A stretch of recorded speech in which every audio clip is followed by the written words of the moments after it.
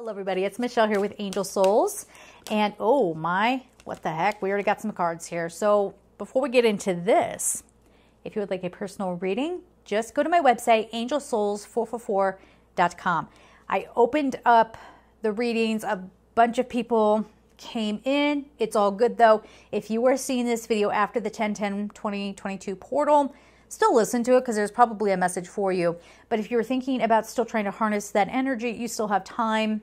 You want to make sure you're prepped for that. You can get a personal reading if you like. AngelSouls444.com.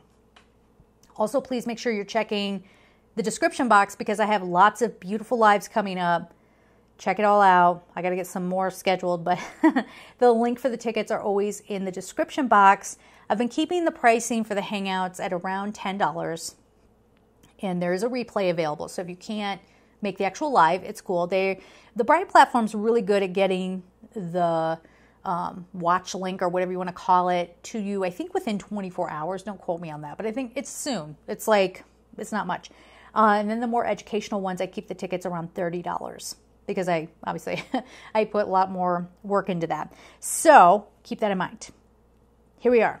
What do we have here? We have gentleness, and it's Archangel Sandalphon, and then we have Relationship Harmony, Raguel. Take it easy. A lot of people who are watching this, you changed over the past few days. It might have felt like, okay, everything's different now. You know, I don't know how to proceed. There's a lot of that kind of energy going on. But it's saying, you know, be grounded and take a gentle approach. So this says, be very gentle with yourself at this time. Surround yourself with gentle people, situations, and environments. Um, this is an old deck, and so some of the wording is a little, I don't know what the word is, uh, avoidant. so you're not going to be able to only surround yourself with positivity. What the heck planet are you living on? It's not going to work. And that's not the solution either to look at everybody else and say, you're the reason why I don't feel good about myself. You're the reason why you don't feel good about yourself. So instead of taking the approach of, I'm going to avoid everything I don't like, right?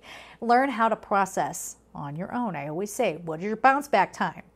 What's the rebound time? Somebody can come in and tick you off, but then you go, all right, you know, I'm, you don't get my energy. So it's not making excuses for the person. It's not being in denial. It's seeing it, processing it, and saying, nope, not giving my energy to this.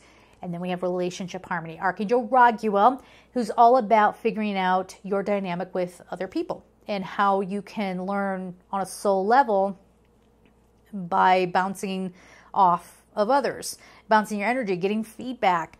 Um, what is that mirroring back to you? Okay? We angels are opening the hearts of everyone involved. Arguments and conflicts are now being resolved. This feels very much like someone doesn't like who you are now. You've changed. Thank you. You want to try it? You want to work on some of that?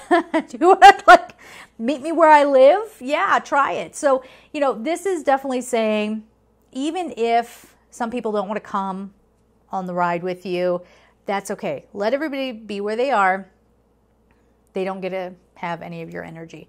They're responsible for their own happiness. Okay? So we're going to leave it there. I'm sending you all so much love and take care.